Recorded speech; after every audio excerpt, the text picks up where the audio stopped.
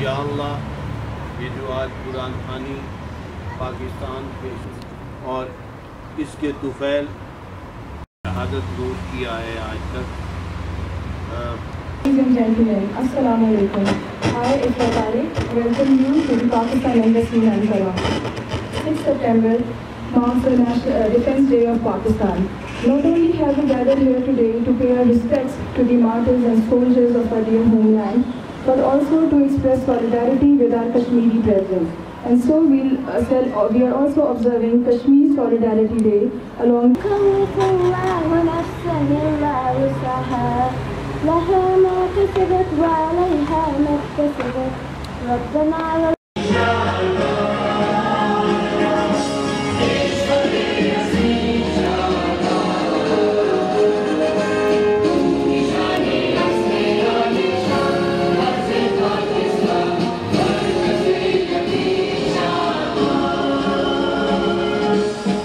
Doctor Arif Alvi صدر اسلامی جمہوریہ پاکستان کا یوم دفاع و شہداء پاکستان کے موقع پر پیغام۔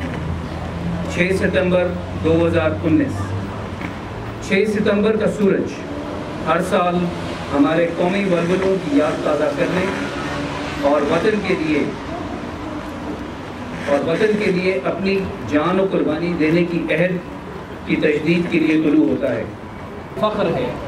کہ ہماری بہادر مسلح افعال جدت کے ساتھ ساتھ جذبہ حب الوطنی اور جذبہ قربانی سے لیس ہے اور کسی حوالے سے ہندوستان کے کسی یک طرفہ فیصلے کی کوئی اہمیت نہ ہے، نہ ہم اس کو تسلیم کرتے ہیں۔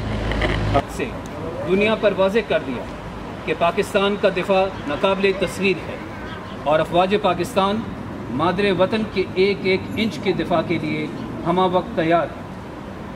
جنگ پینسٹھ میں ہماری مسلح افواج نے قوم کے شانہ بشانہ یکجہتی ایثار قربانی، نظم و ضبط اور عزم کی عظیم مثال قائم کرتے ہوئے یہ ثابت کر دیا کہ جرت اور فرض سے لگن کے سامنے کسی بھی قسم کی عددی، برتری کوئی حیثیت نہیں رکھتی۔ اور ان کی فیملیز کے ساتھ شامل ہوئے۔ وقت نکال کے کہ ہم ایک مناسب طریقے سے پاکستان کے یوم دفاع اور یوم یکجہتی کشمیر منا سکیں۔ جموں و کشمیر کے عوام کے لیے ہمارے دل اسی طرح دھڑکتے رہیں گے جیسے آج تک دھڑک رہے تھے۔ کسی قسم کی کوئی مصیبت، کسی قسم کی کوئی پریشانی ہمیں پیچھے نہیں مجبور کرے گی، پیچھے ہٹنے پہ مجبور نہیں کرے گی۔ ہم کشمیریوں کے ساتھ تھے، ہیں اور رہیں گے۔